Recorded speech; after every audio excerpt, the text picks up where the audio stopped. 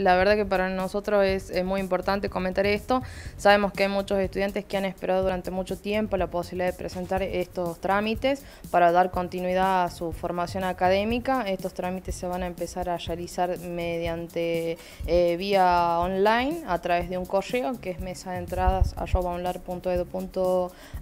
y a partir de ahí, bueno, este, enviar la documentación que se requiere para el trámite que se precise hacer. Más recurrentes o los que estaban, digamos, este, necesitándose hacer, eh, en el caso de los estudiantes, eran el cambio de unidad académica, cambio de datos, este, equivalencias internas y externas, eh, cambio de plan de estudio y a partir de ello, digamos, van a poder eh, culminar, como lo dije anteriormente, con alguna parte de su trayecto formativo. El año pasado, bueno, como todos sabemos, vivimos el tiempo de pandemia que nos agarró desprevenidos a todos y fue una etapa en la que en tanto febrero o marzo, que son los meses en los que se inician este tipo de trámites generalmente, más que nada equivalencias tanto internas como externas, cambio de plan o cancelación de matrícula, eh, no se pudieron llevar a cabo, entonces quedaron este, un poco paradas porque se estaba analizando cuál iba a ser la metodología para llevarlo adelante, entendiendo que la universidad estos trámites se los llevaba a cabo en la presencialidad, entonces eh, se dijo que una vez que la universidad retome la presencialidad lo haríamos.